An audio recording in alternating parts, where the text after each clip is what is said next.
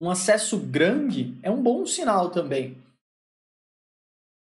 Às vezes, quando a gente tem um acesso muito limitado, dependendo de onde está e da onde eu preciso chegar para conseguir dar um primeiro impacto no amassado, acaba trazendo mais dificuldades. Então, um acesso maior, muitas das vezes ele é considerado muito bom. Cara, para mim, uma baita sacada é poder visualizar o que está ali dentro. Olha lá, eu não tenho nenhuma estrutura que segura. O que, que significa? Um reforço, alguma alguma barra ali que está segurando o amassado. De fato, o que está segurando é essa pequena calafetaçãozinha aí. Ó. Olha lá o acesso na parte de baixo. Como, se eu parar para imaginar, olha como ele vai ser muito utilizado. Eu consigo colocar uma ferramenta ali nele. Vê.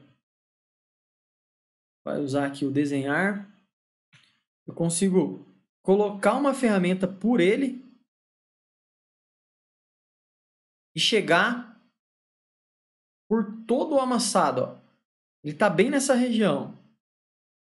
Então eu consigo colocar uma alavanca, pegar a parte de baixo, pegar essa parte daqui, pegar toda a extensão. Olha como é bacana.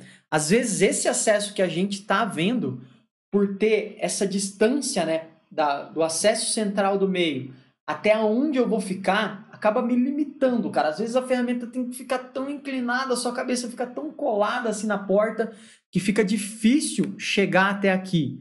Então, lá no começo, as coisas já começam a se conectar com o meio, que vão se conectar também com o fim.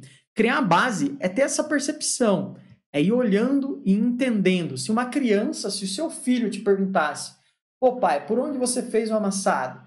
Pô, pai, por que você fez o amassado por esse canto? Pai, por que você fez o amassado desse canto e dessa maneira? Pai, por que você fez o amassado desse canto dessa maneira com essa ferramenta? Pai, por que você fez o amassado desse canto com essa ferramenta que passou fita na ponta? Cara, você saberia responder todas essas perguntas para uma criança de 5 anos. E iria além se você fizesse com que ela entendesse. Se você tem a capacidade de fazer isso, você é um cara, é um outlier, né? É um cara fora da média, fora da curva. Porque você dá o entender da profissão da maneira que você compreende, às vezes subconscientemente, você consegue explicar para qualquer um, cara. Para o seu cliente, às vezes explicar determinados tipos, não todo o contexto do início ao final, mas algumas das partes que existe ali na etapa da remoção, cara, isso, no meu ponto, cria valor, né? não cria preço, cria valor. Valor é diferente de preço. Preço é o que todo mundo acaba cobrando, ou a maioria dos martelinhos de ouro acabam cobrando pelo seu trabalho. Valor, cara, é algo que constrói, é algo que vai fazer com que os clientes corram atrás de você. E por que alguns usam preço e outros usam valor? Porque eles não conhecem essas entrelinhas como você está conhecendo aqui agora na nossa profissão, do martelinho de ouro. O cara que cobra preço, ele também pode cobrar o valor, ele também pode aumentar. Ele só precisa ter essa capacidade, entender, criar esse conceito, ter conhecimento para pegar aquilo que ele já. Muitos de vocês, eu acredito que perdem dinheiro fazendo aquilo que fazem. Muitos de vocês, repito mais uma vez, perdem dinheiro ou deixam de ganhar dinheiro fazendo aquilo que fazem. O mesmo trabalho que talvez você tenha feito hoje ou vai fazer amanhã, daria para cobrar no mínimo o dobro a mais. Daria para cobrar no mínimo o dobro a mais. Pô, Alas, que loucura é essa? Da onde você está tirando isso? Do meu.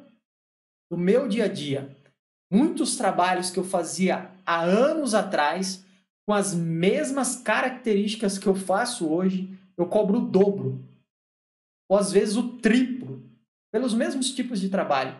E o que, que mudou? A economia, o mundo, o país, a minha esposa, os meus tem filhos, meu cachorro, meus pais? Não. Essas coisas também mudaram. Mas a principal coisa que mudou foi eu.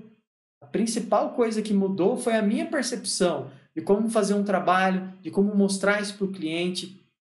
Cara, eu diria que nem as ferramentas mudaram.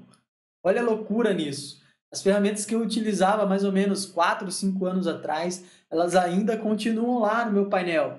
Mesmo martelinho, a mesma lâmpada. O que fez eu sair lá do preço para valor foi justamente entender, criar essa base e, consequentemente, mostrar isso para todo mundo, para os meus clientes, para você que está aqui agora